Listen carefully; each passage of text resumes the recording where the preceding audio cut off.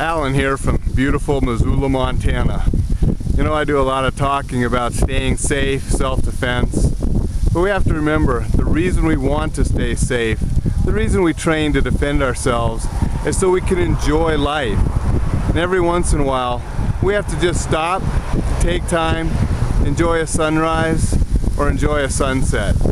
Until next time, take care, stay safe.